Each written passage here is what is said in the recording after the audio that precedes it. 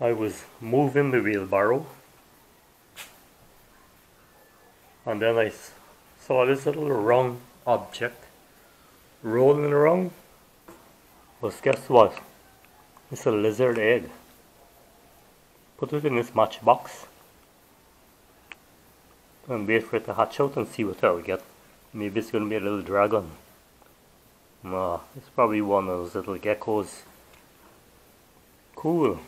Lizard egg.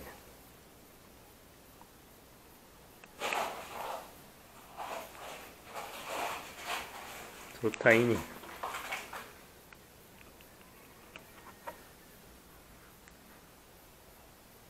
Oh, and it's another beautiful morning. Just after